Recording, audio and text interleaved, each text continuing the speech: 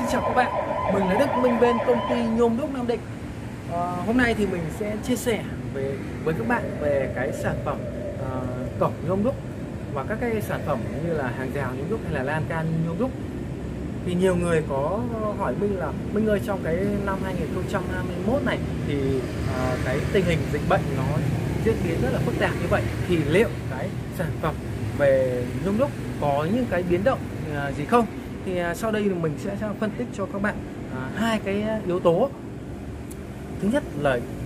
yếu tố về uh,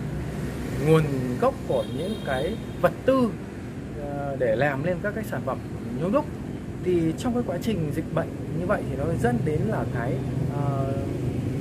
chuỗi cung ứng về nhôm hay là về sơn của chúng tôi là nó có những cái biến động và nó sẽ chậm cộng với cái giá cả của thị trường là tăng lên đấy nhưng mà do chúng tôi đã có một cái lượng uh, nguyên vật liệu dự trữ sẵn từ trước và đã có những cái ký kết với nhà cung cấp từ trước nên là các cái sản phẩm của công ty nhôm đúc Nam Định thì là bình ổn về giá cả trong cái thời điểm dịch bệnh 2021 này. Tuy nhiên à, có một cái điều mà quý vị cũng phải nên để ý ở trong cái thời điểm dịch này là khi mà các sản phẩm những lúc làm ấy thì nó gồm rất là nhiều công đoạn và thường là từ khi sản xuất đến khi lắp đặt là một quá trình trong khoảng là 45 ngày.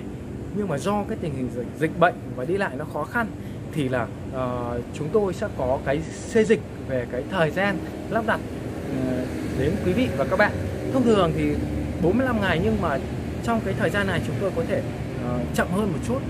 do cái ờ, tình hình dịch bệnh của từng địa phương và cái ừ, giao thông từ địa phương này sang địa phương khác thì nó có những cái vấn đề rất là khó khăn. Thì ờ, nếu mà ờ, quý vị có những cái sản phẩm mà đang làm trong cái thời gian này tôi cũng rất mong quý vị thông cảm cho công ty nhôm Đức công ty về cái tình tình hình diễn biến dịch dẫn đến cái thời gian nó sẽ có bị uh, biến động và thay đổi một chút. Và các cái thông tin về thời gian thì chúng tôi sẽ cập nhật cho quý vị trong từng tuần một để quý vị uh, có những cái kế hoạch xây dựng sửa chữa nhà cửa của mình uh, nó phù hợp. Uh, xin chào quý vị và các bạn.